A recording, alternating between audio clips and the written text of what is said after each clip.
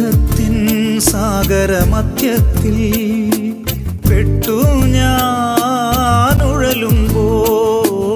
ദുഃഖത്തിൻ സാഗരമധ്യത്തിൽ പെട്ടു ഞാനുഴലുമ്പോൾ നൗകയുമായി നാഥ വന്നിടണേ.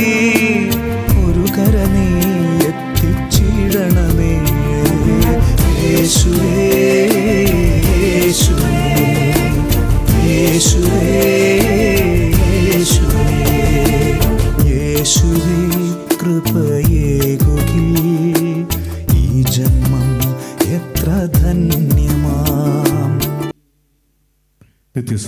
യോഗ്യമായ പരിശുദ്ധ പരമ ദിവ്യകാരുണ്യത്തിന് എന്നേരവും ആരാധനയും സ്തുതിയും പുകഴ്ചയും ഉണ്ടായിരിക്കട്ടെ.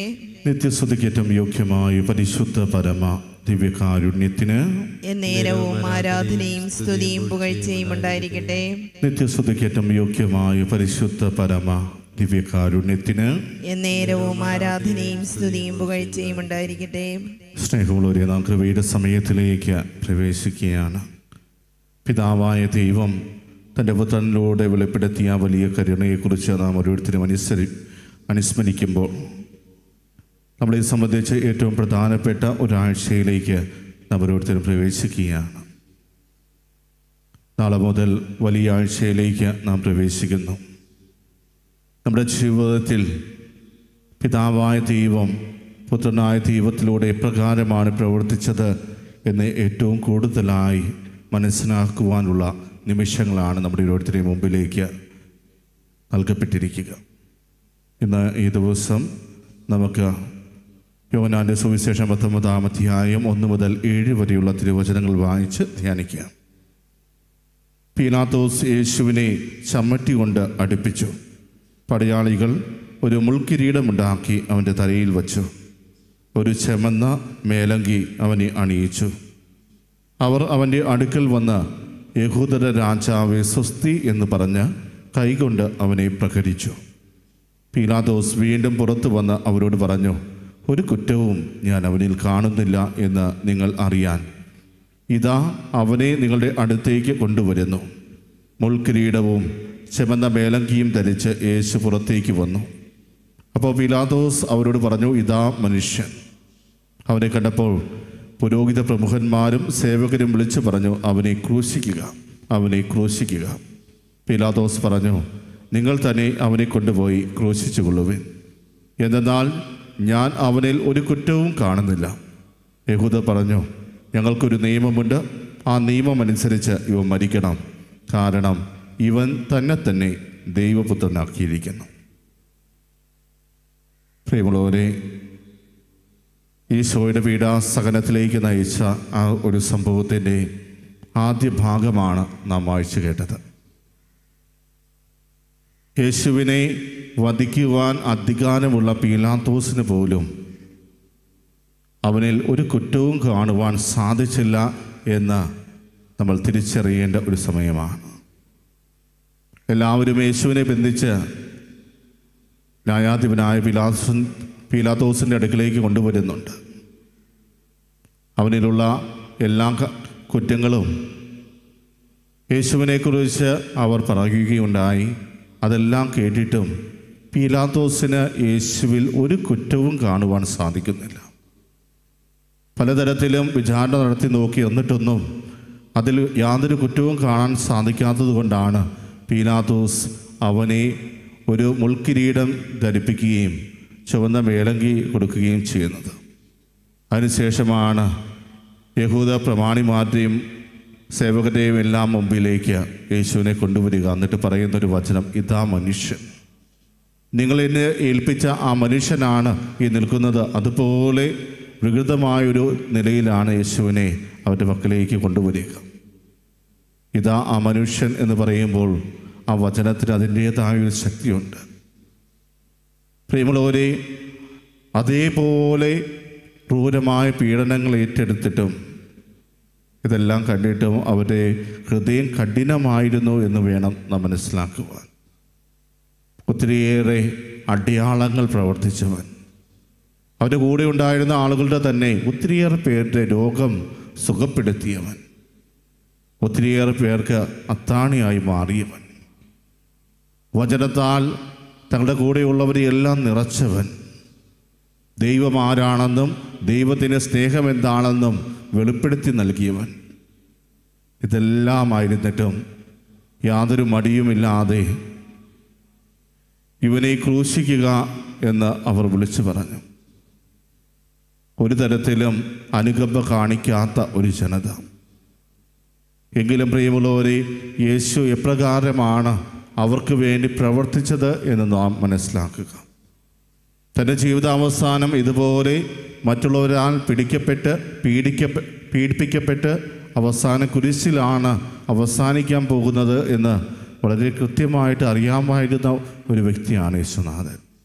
അതുകൊണ്ട് തന്നെയാണ് മൂന്ന് പ്രാവശ്യം ആ മരണത്തെക്കുറിച്ച് അവൻ പ്രവചിക്കുന്നത്. ഓരോ പ്രവചനത്തിന്റെ സമയവും തന്റെ കൂടെ ഉണ്ടായിരുന്ന ശിഷ്യന്മാർക്ക് അത് മനസ്സിലാക്കുവാൻ സാധിക്കുന്നില്ല. എങ്ങനെയെങ്കിലും അത് അവന്റെ ജീവിതത്തിൽ നിന്നും ഒഴിവായി കാണണമെന്ന് ആഗ്രഹിച്ചവരാണ് യേശുവിന്റെ ശിഷ്യന്മാർ. പക്ഷേ തന്റെ ദൗത്യം എന്താണെന്ന് കൃത്യമായി അറിയാമായിരുന്ന ആ യേശുനാഥൻ അവൻ ഇതെല്ലാം വളരെ സന്തോഷപൂർവമാണ് ഏറ്റെടുക്കുന്നത്. പിതാവായ ദൈവത്തിന്റെ കരങ്ങളിലേക്ക് തന്നെ തന്നെ സമർപ്പിക്കുമ്പോൾ ഇതാ എല്ലാം പൂർത്തിയായിരിക്കുന്നു എന്ന് പറഞ്ഞ് തന്റെ ആത്മാവിനെ തന്നെ യേശുവിന്റെ കരങ്ങൾ യേശു പിതാവായ ദൈവത്തിന്റെ കരങ്ങളിലേക്ക് വിട്ടു നൽകുമ്പോൾ അവിടെ നമുക്ക് കാണുവാൻ സാധിക്കുക. ഒരു വിജയത്തിലേക്ക് കടന്നു വന്ന വ്യക്തിയുടെ മുഖമാണ്. ഒരു പരാജിതനായ വ്യക്തിയുടെയല്ല മറിച്ച് വിജയശ്രീലാളിതനായ ഒരു വ്യക്തിയുടെ മുഖമാണ് നമുക്ക് അവിടെ ദർശിക്കുവാൻ സാധിക്കുക. പിതാവേ നീ എന്നെ ഏൽപ്പിച്ച ആ ദൗത്യം അതിന്റെ പൂർണതയിൽ ഇതാ ഞാൻ ഇവിടെ പൂർത്തീകരിച്ചിരിക്കുന്നു. യാതൊരു കുറവുകളുമില്ലാതെ എല്ലാം വളരെ കൃത്യതയോടെ. നീ എങ്ങനെയാണോ പ്ലാൻ ചെയ്തത് അതുപോലെ തന്നെ ഞാൻ നിവർത്തിച്ചിരിക്കുന്നു എന്ന് പറഞ്ഞുകൊണ്ടാണ് അവസാനം യേശു ആ കുരിശിൽ മരിച്ചത്. എല്ലാം പൂർത്തിയായി എന്ന് ആ പിതാവായ ദൈവത്തെ വിളിച്ച് ബോധ്യപ്പെടുത്തിക്കൊണ്ട് അവസാനം അവൻ മരിക്കുമ്പോൾ. പ്രിയമുള്ളവരെ ആ ഒരു മരണത്തിലൂടെയാണ് നമ്മുടെ ഓരോരുത്തരുടെയും ജീവിതത്തിലേക്ക് രക്ഷ കൈവന്നത്. ആ ഒരു മരണത്തിലൂടെയാണ് നമുക്ക് നഷ്ടപ്പെട്ടു പോയ പ്രസാദപരം വീണ്ടെടുക്കുവാൻ സാധിക്കുന്നത്. ആ ഒരു മരണത്തിലൂടെയാണ് നമ്മളെല്ലാവരും നിത്യജീവനിലേക്ക് പ്രവേശിച്ചത്. അതിനാൽ തന്നെ ക്രിസ്ത്യാനികളായ നമ്മളെ സംബന്ധിച്ച് വലിയ ആഴ്ച ഒത്തിരിയേറെ അർത്ഥവത്തായ ഒരാഴ്ചയാണ്. നമ്മളെ തന്നെ പൂർണമായി വിശുദ്ധീകരിക്കുവാൻ അതേസമയം നമ്മൾ ഓരോരുത്തരും എപ്രകാരമാണ് വീണ്ടെടുക്കപ്പെട്ടത് എന്ന് കൃത്യതയോടെ മനസ്സിലാക്കുവാനുള്ള ഒരവസരം. ഈ ദിവസങ്ങളിലെ വായനകളിലെല്ലാം നമുക്ക് കാണുവാൻ സാധിക്കും ദൈവം എപ്രകാരമാണ് തന്റെ ജാതനെ ഈ ലോകത്തിലേക്ക് അയച്ച് ഈ ലോകത്തിന്റെ രക്ഷയ്ക്ക് വേണ്ടി ഒരുക്കിയത് എന്ന് നമുക്ക് മനസ്സിലാക്കുവാൻ സാധിക്കും. ഓരോ വായനയിലും നമുക്ക് കാണുവാൻ സാധിക്കുക അതാണ്. വളരെ കൃത്യതയോടുകൂടെ എപ്രകാരമായിരിക്കണോ എന്റെ മകൻ ഈ ലോകത്തെ രക്ഷിക്കേണ്ടത്. അതെല്ലാം കൃത്യതയോടുകൂടെ നടപ്പിലാക്കുന്ന യേശു. പ്രിയമുള്ളവരെ ഇതെല്ലാം നമ്മുടെ ജീവിതത്തിൽ നാം അനുഭവിച്ചു കൊണ്ടിരിക്കുമ്പോൾ നമ്മുടെ ജീവിതത്തിൽ പ്രകാരമാണ് നാം ഓരോരുത്തരും നന്ദി പ്രകാശിപ്പിക്കേണ്ടത്. ഇത്രമാത്രം പീഡകൾ ഏറ്റുകൊടുത്തുകൊണ്ട് നമുക്ക് വേണ്ടി കുരിശിലേറി മരിച്ചവൻ അവന്റെ മുമ്പിൽ നാം ആയിരിക്കുമ്പോൾ നാം ഓരോരുത്തരും എപ്രകാരമാണ് പ്രതികരിക്കേണ്ടത്. നമ്മുടെ ജീവിതം അത് ഒത്തിരിയേറെ അർത്ഥവത്തായി മാറ്റണമെങ്കിൽ തീർച്ചയായും ദൈവസന്നിധി നന്ദിയുള്ളവരായിട്ട് നാം മാറണം. കൃതജ്ഞതാ നിർഭരായിട്ട് നമ്മൾ പ്രവർത്തിക്കുമ്പോഴാണ് ആ ദൈവം എനിക്ക് വേണ്ടി ഏറ്റെടുത്ത എല്ലാ ത്യാഗങ്ങളും അതിന്റെ എല്ലാ പൂർണതയിലും എത്തിച്ചേരുക. തീർച്ചയായും നമ്മളെ ഓരോരുത്തരെയും സ്നേഹിക്കുന്നത് കൊണ്ട് തന്നെയല്ലേ തന്റെ ഏകജാതനെ അവിടുന്ന് നൽകിയത്. നമ്മുടെ മാതാപിതാക്കൾ ഇതുപോലെ നമ്മുടെ മക്കളെ ദൈവത്തിനായിട്ട് സമർപ്പിക്കാറുണ്ടോ. ഒരു നല്ല കാര്യത്തിന് വേണ്ടി നമ്മുടെ മക്കളെ വിട്ടു നൽകാറുണ്ടോ. നഷ്ടപ്പെടലിന്റെ വേദന എന്താണെന്ന് നമുക്ക് എല്ലാവർക്കും അറിയാം. നമ്മുടെ മാതാപിതാക്കൾ നമുക്ക് നഷ്ടപ്പെടുമ്പോൾ അല്ലെങ്കിൽ നമ്മൾ സ്നേഹിക്കുന്ന ഒരു വ്യക്തിയെ നഷ്ടപ്പെടുമ്പോൾ അല്ലെങ്കിൽ ജീവിത പങ്കാളിയെ നഷ്ടപ്പെടുമ്പോൾ മക്കളെ നഷ്ടപ്പെടുമ്പോൾ നമ്മൾ അനുഭവിക്കുന്ന വേദന എത്ര വലുതാണെന്ന് നമുക്ക് എല്ലാവർക്കും അറിയാം. അവിടെയാണ് പിതാവായ ദൈവം തന്റെ ഏകജാതനെ തന്നെ നമുക്കായിട്ട് നൽകുക. യേശുനാഥൻ അത് വളരെ കൃത്യതയോടുകൂടെ ഓരോ ഉപമയിലും അവതരിപ്പിക്കുന്നത് നമുക്ക് കാണുവാൻ സാധിക്കും. എപ്രകാരമാണ് ഈ ലോകം തന്നെ ഏറ്റെടുക്കാൻ പോകുന്നത്? തന്നോട് പ്രതികരിക്കാൻ പോകുന്നത് അതെല്ലാം വളരെ മനോഹരമായി മുന്തിരിത്തോട്ടത്തിന്റെ ആ ഉപമയിൽ പറഞ്ഞു വയ്ക്കുന്നുണ്ട്. ഇതാണ് അവകാശം. ഇവനെ കൊന്നുകളഞ്ഞാൽ നമുക്ക് അവകാശം നേടിയെടുക്കാമെന്ന ആഗ്രഹത്തോടെ ആ മകനെ കൊന്ന് വെളിയിലേക്ക് എറിയുന്ന വൃത്യമാരെ നമ്മൾ കാണുന്നുണ്ട്. ആ ഒരു അവസ്ഥയിലായിരുന്നു ദൈവജനം യേശുവിനെതിരെ പ്രവർത്തിച്ചത്. ദൈവത്താൽ തിരഞ്ഞെടുക്കപ്പെട്ടവർ ദൈവത്താൽ നയിക്കപ്പെട്ടവർ ദൈവം എപ്പോഴും കാത്തു പരിപാലിച്ചവർ. അവരുടെ എല്ലാം വേദനയിലേക്ക് എപ്പോഴും കടന്നു വന്ന ആ ദൈവത്തിന്റെ ഏകജാതനെ തന്നെയാണ്. പിന്നീട് അതേ ദൈവജനം അവനെ ക്രൂശിക്കുക എന്ന് വിളിച്ചു പറഞ്ഞുകൊണ്ട് ഏൽപ്പിച്ചു കൊടുത്തത്. പ്രിയമുള്ളവരെ നമ്മുടെ ജീവിതത്തിൽ നമ്മളും ഇതുപോലെ യേശുവിനെ ഒറ്റിക്കൊടുക്കുന്ന അവസരങ്ങളുണ്ടാവും. യേശുവിനെ അവനെ ക്രൂശിക്കുക എന്ന് പറഞ്ഞുകൊണ്ട് വിട്ടുകൊടുക്കുന്ന അവസരങ്ങളുണ്ടോ? ഒരുപക്ഷെ നമ്മുടെ ജീവിതം യേശുവിന് എതിർസാക്ഷ്യമായിട്ട് മാറുമ്പോൾ നമ്മളും ചെയ്യുന്നത് തന്നെയാണ്. അവനെ വീണ്ടും ക്രൂശിക്കുകയാണ് നമ്മൾ ചെയ്യുക.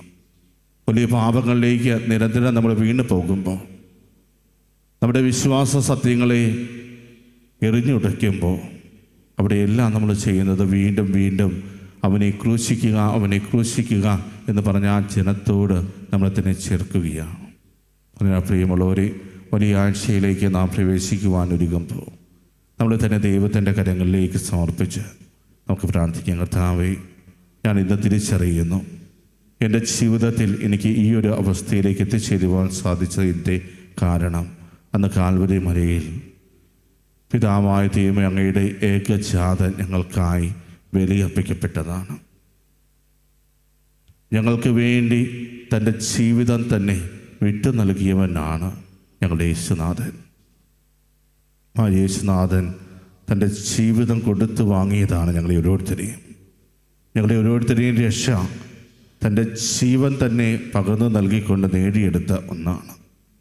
എങ്കിലും അതിന്റെ പ്രാധാന്യം തിരിച്ചറിയാതെ പലപ്പോഴും ഞങ്ങളുടെ പ്രവർത്തനങ്ങളിലൂടെ ഞങ്ങളുടെ വാക്കുകളിലൂടെ ഞങ്ങൾ അങ്ങേ വേദനിപ്പിച്ചിട്ടുണ്ട്. അതാവി ഞങ്ങളോട് പൂർണമായും ക്ഷമിക്കണമേ. അതാവി അങ്ങ് ഞങ്ങൾക്ക് നൽകിയ ഈ ജീവിതത്തിന്റെ വില എന്താണെന്ന് തിരിച്ചറിഞ്ഞുകൊണ്ട് ഞങ്ങളുടെ ഓരോരുത്തരെയും ജീവിതത്തിലൂടെ അങ്ങയെ മഹത്വപ്പെടുത്തുവാൻ ഞങ്ങളെ അനുഗ്രഹിക്കണമേ. ഈശോനാഥ ഈ വലിയ ആഴ്ച ഞങ്ങളുടെ ജീവിതത്തിൽ ഒരു പുതിയ വഴിത്തിരിവായിട്ട് മാറട്ടെ. ഞങ്ങളുടെ ജീവിതത്തിൽ അങ്ങയെ ഏറെ മനസ്സിലാക്കുവാൻ ഈ ആഴ്ച ഉപകരിക്കട്ടെ.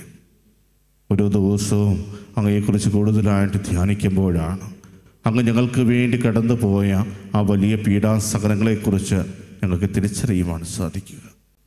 കഥാവി ആ ഒരു തിരിച്ചറിവ് ഞങ്ങൾക്ക് നൽകണമേ. അങ്ങ് കടന്നു പോയ ആ പീഡാസഹനങ്ങളുടെ ആ വലിപ്പം ഞങ്ങളെ ബോധ്യപ്പെടുത്തണമേ. അതിന്റെ എന്താണെന്ന് നീ ഞങ്ങൾക്ക് കാണിച്ചു തരണമേ. തന്നെ തന്നെ പൂർണമായി സമർപ്പിച്ചുകൊണ്ട് നേടിയെടുത്തവരാണല്ലോ ഞങ്ങൾ ഓരോരുത്തരും കർത്താവേ അങ്ങ് ഞങ്ങൾക്ക് വേണ്ടി അത്രമാത്രം പീഡകളേറ്റ് എടുത്തപ്പോൾ കർത്താവെ അത് ഞങ്ങളുടെ ജീവിതത്തിൽ വലിയ നിത്യജീവനിലേക്ക് നയിക്കുന്ന അനുഭവമായിട്ട് മാറി. എങ്കിലും ആ അനുഭവത്തിൽ തന്നെ തുടരുവാൻ ഞങ്ങൾക്ക് പലപ്പോഴും സാധിച്ചില്ല. ഈശോയെ ഇന്ന് ഈ കൃപയുടെ സമയത്ത് ഒരിക്കൽ കൂടി അങ്ങയുടെ വലിയ കരുണയ്ക്ക് വേണ്ടി ഞങ്ങൾ യാചിക്കുന്നു. ഞങ്ങൾക്ക് നഷ്ടപ്പെട്ടു പോയ ആ പ്രസാദപരം ഒരിക്കൽ കൂടി നീ ഞങ്ങൾക്കായിട്ട് നേടിയെടുത്ത് തരണമേ. ഞങ്ങളുടെ ജീവിതത്തിൽ എന്നും അങ്ങയെ അനുഭവിക്കുവാനും അങ്ങയുടെ സാന്നിധ്യത്തിൽ എന്ന് ജീവിക്കുവാനും ഞങ്ങൾ ഓരോരുത്തരെയും പ്രാപ്തനാക്കണമേ. വിശ്വനാഥ ആ വലിയൊരു കൃപ ഞങ്ങൾ എല്ലാവരും വളരെ ആത്മാർത്ഥതയോടെ ഇന്നേ ദിവസം യാചിക്കുന്നു. ഒരു നിമിഷം മൗനമായ കർത്താവിന്റെ സന്നിധിയിൽ അവളോട് പ്രാർത്ഥനാ സഹായം അഭ്യർത്ഥിച്ചുള്ള ഓരോ വ്യക്തികളെയും നമുക്ക് പ്രത്യേകം ഓർക്കാം. അവർ നമ്മോട് ആവശ്യപ്പെട്ട നിയോഗങ്ങളെ കർത്താവിന്റെ വലിയ കരുണയ്ക്ക് വേണ്ടി നമുക്ക് സമർപ്പിക്കാം. ഈ ദിവസങ്ങളിൽ ഒത്തിരിയേറെ ആളുകൾ കാര്യസ്ഭവനിലേക്ക് വിളിച്ച് പ്രാർത്ഥനാ സഹായം അഭ്യർത്ഥിക്കുന്നു. അവരെ ഓരോരുത്തരെയും ഈ നിമിഷം നമുക്ക് ഓർക്കാം.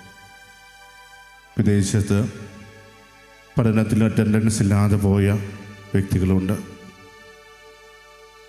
ഇനി ഒരു പരീക്ഷയിൽ പാസ്സായില്ലെങ്കിൽ തിരികെ നാട്ടിലേക്ക് വരേണ്ട അവസ്ഥയിൽ കഴിയുന്ന ഒത്തിരിയേറെ മക്കളുണ്ട്. അവരെല്ലാം ഈ നിമിഷം കഥാന്റെ വലിയ കരുണയ്ക്ക് വേണ്ടി നമുക്ക് സമർപ്പിക്കാം. തന്താങ്ങളുടെ കുടുംബങ്ങളെ മുന്നോട്ട് നയിക്കുന്നതിന് വേണ്ടി ഒത്തിരിയേറെ ത്യാഗമെടുത്തുകൊണ്ട് പലരിൽ നിന്നും പൈസ കടം വാങ്ങിക്കൊണ്ട് വിദേശത്തേക്ക് പോയ ഒത്തിരിയേറെ ആളുകൾ ഈ ദിവസങ്ങളിൽ നിരന്തരം നമ്മളെ വിളിച്ച് പ്രാർത്ഥനാ സഹായം അഭ്യർത്ഥിക്കുന്നു. അവരെ ഓരോരുത്തരെയും നമുക്ക് ദൈവത്തിന്റെ കരങ്ങളിലേക്ക് സമർപ്പിക്കാം. താവിയാം മക്കളുടെ മേൽ അങ്ങയുടെ കരുണ വർഷിക്കണമേ എന്ന് നമുക്ക് പ്രാർത്ഥിക്കാം. കരുണാമയനായ ദൈവം നമ്മുടെ ഓരോരുത്തരെയും പ്രാർത്ഥന കേൾക്കുന്നവനാണ്. തീർച്ചയായും ആ മക്കളുടെ ജീവിതത്തിൽ അവിടുന്ന് പ്രവർത്തിക്കും എന്ന ഉറച്ച വിശ്വാസത്തോടെ നമുക്ക് കർത്താവിന്റെ ആശീർവാദം ഏറ്റുവാങ്ങാം.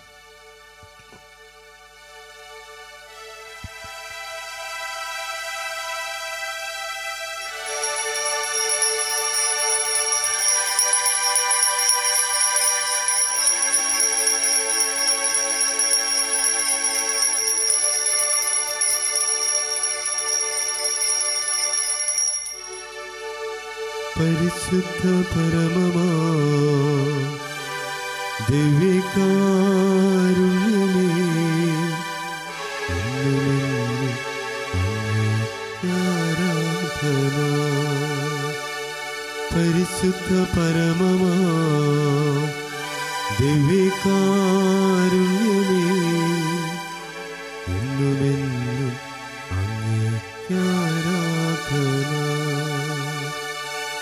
सुख परममा दिव्यकारुण्य